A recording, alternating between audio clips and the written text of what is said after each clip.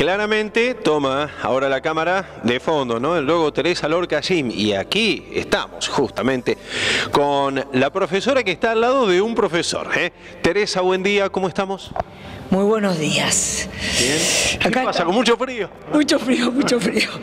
Acá estamos, bueno, con, a, mi lado está a mi izquierda Julio Ruiz, el profesor de boxeo de los niños. Así que él le va a contar de la actividad, de qué se trata y se está moviendo bastante la actividad, están viniendo muchos niños y, y los papás también que se quedan a mirar a ver cómo se manifiestan los niños ahí dentro de la actividad. Bueno, ¿qué pasa con los más chiquitos? ¿Por qué se están acercando? ¿Incentivados quizá por los videojuegos, un poquito de televisión, algo de todo, no? La verdad que estoy contento. Buenas tardes, buen día para todos. Estoy agradecido de, tener tantos chicos en mi clase.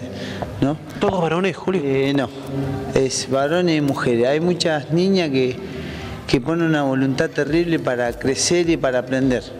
Este deporte es un deporte de contacto físico.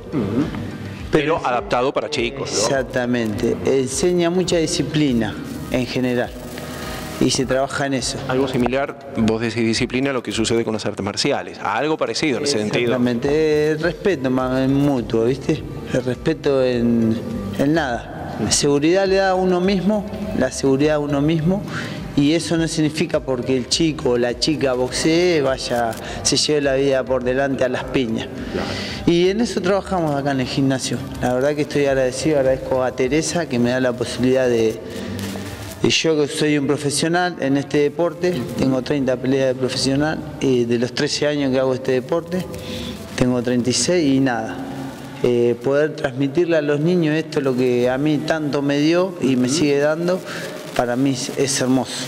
Y digo también, ¿no? Una, actividad física que requiere de una intensidad eh, eh, muy fuerte, ¿no? adaptado, por supuesto, para, los chicos. ¿Cómo haces para atraer la atención de ellos, de que no, no, no, no decaiga, que no digan, uy, me aburro? ¿Cómo se maneja? Y le voy cambiando los circuitos, lo mantengo siempre ocupado, siempre que su cabecita estén ocupado, porque si no eh, calcula tengo 14, 15 chicos y, y son chicos que ellos quieren jugar, quieren molestar, están en euforia y bueno, gracias. ¿Querés mencionar un par de ejercicios que recuerdes ahora? Y tengo, tengo primero... Una rutina armada. Circuitos, hago circuitos recreativos, abdominales, siempre tranqui porque son criaturas, pero con trabajo y seriedad.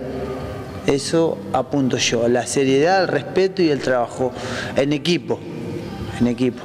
Más allá de que esta, este deporte depende de uno, sí. pero acá trabajo en equipo, en conjunto. Bien, gracias. ¿Qué tenemos para agregar, Teresa, entonces? Que los papás se quedan tranquilos, que vengan, pueden quedarse a la clase, ah, a presenciar la clase, que vean lo que sus niños están haciendo. Están haciendo actividad física, que es lo más importante en lugar de estar con la computadora o con los jueguitos, tráiganlos al gimnasio a realizar actividad física. ¿Está? Porque hacen una linda clase, primero todo el calentamiento con todos distintos ejercicios y después viene la parte final que, como dijo Julio, de manopla y todo, que les encanta a los niños. ¿Está? Se tiene que aprender a, a defenderse y sobre todo las niñas. Las niñas en el colegio tienen muchos problemas con el bullying y entonces esto le da más seguridad interna y más confianza en sí mismo, que vengan a practicar esto, que vengan a hacer la actividad física como esta, como cualquier otra, que les va a servir para tener una mejor calidad de vida. Están recién empezando su vida, entonces les queda mucho por delante.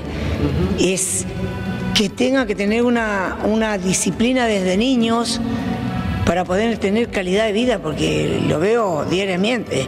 Eso, los, los papis inclusive van a tener que cambiar un poquito la cabeza y empezar a alimentarlos mejor a ellos, a sus niños y ellos alimentarse bien, porque todo tiene que ver con la cultura familiar, ¿eh?